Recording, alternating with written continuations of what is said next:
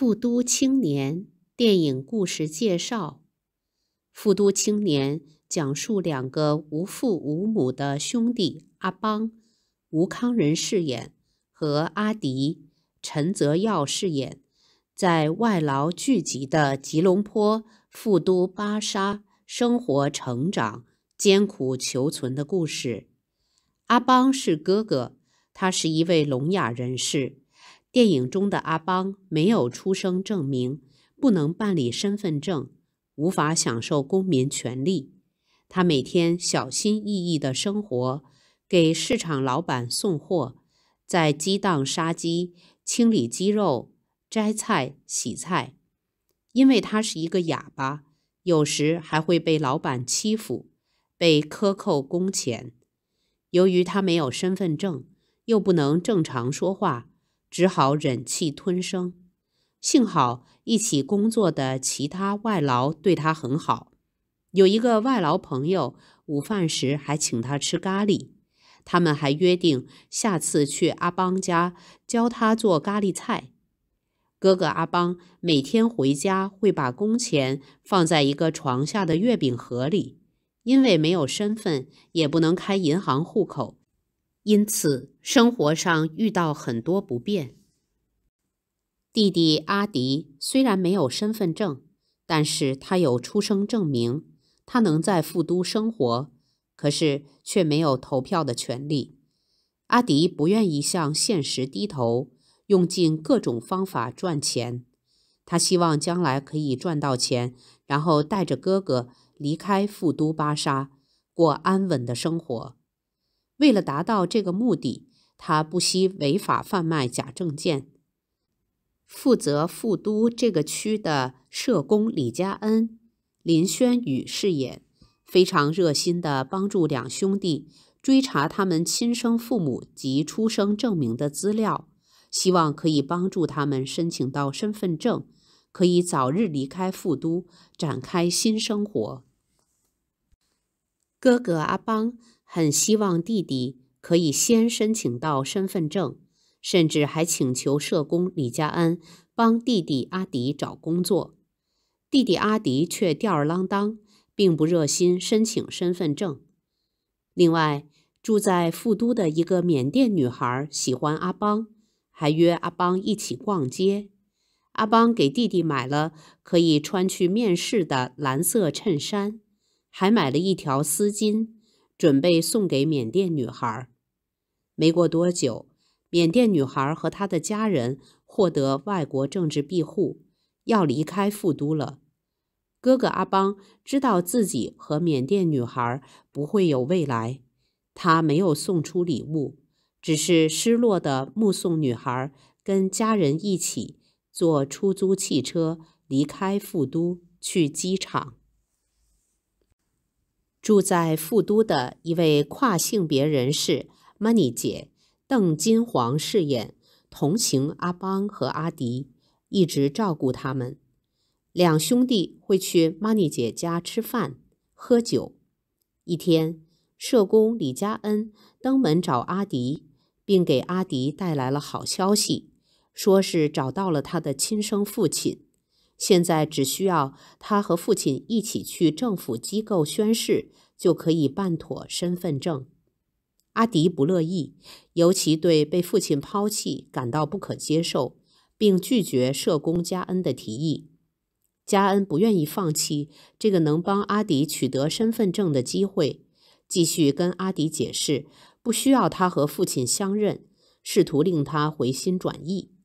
阿迪脾气暴躁，按住加恩想打他，二人动手纠缠。混乱之中，阿迪抄起东西打了加恩的头，加恩摔在地上，头破血流，昏了过去。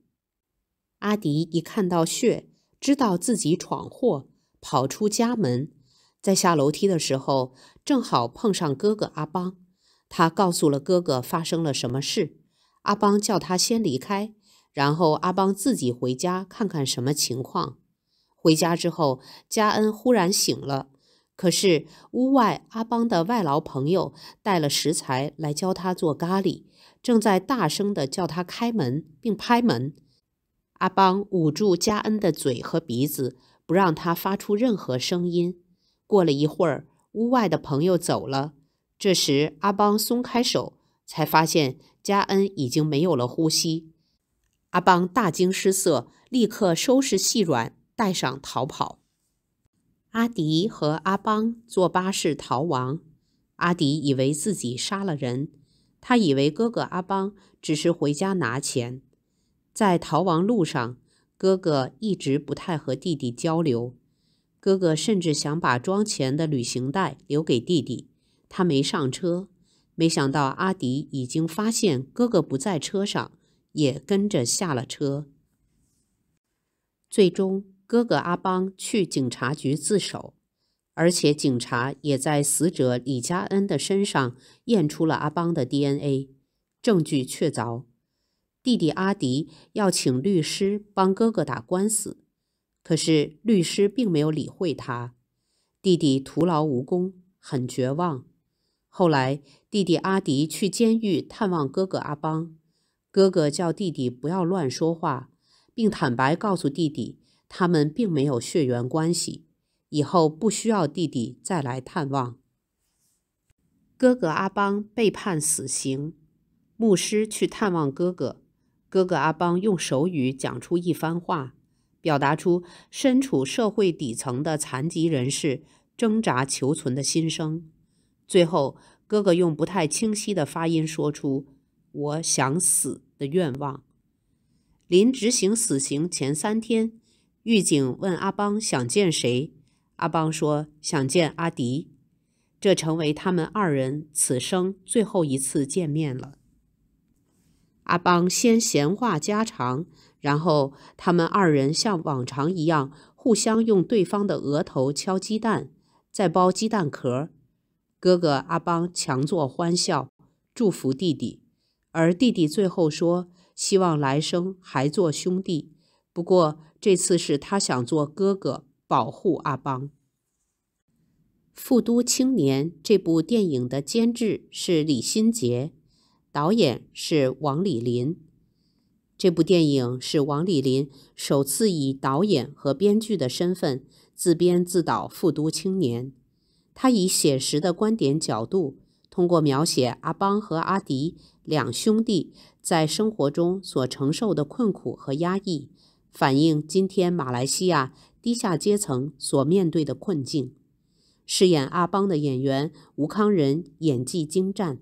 他刻苦操练马来西亚手语，他能把阿邦心里承受的无助与彷徨发挥得淋漓尽致，总能达到此时无声胜有声的境界。饰演阿迪的演员陈泽耀也能把阿迪的鲁莽冲动刻画得很出色，再加上饰演 Money 姐的邓金黄，角色性格复杂，他的表演精准到位，令人动容。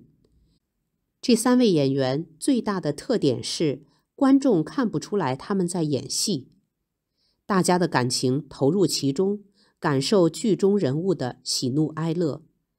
另外，饰演社工李佳恩的林轩宇也表现出色，把社工的善心自然地流露出来，毫不做作。这部电影的感染力很强，最近获奖无数。我个人认为是二零二三年最令人感动的一部电影，没有之一。请大家继续关注。如果你看到这里，我要跟你说声谢谢，谢谢你观看并支持我的频道，欢迎订阅转发。我已经在香港的大学教授国语很多年，特别擅长帮助学生准备公开考试。例如汉语水平考试 （HSK） 和普通话水平测试 （PSE）。如果你需要老师指导，可以发电邮 dorishon 零一二零一九 at gmail.com 跟我联系。谢谢你，预祝你考试成功，再见。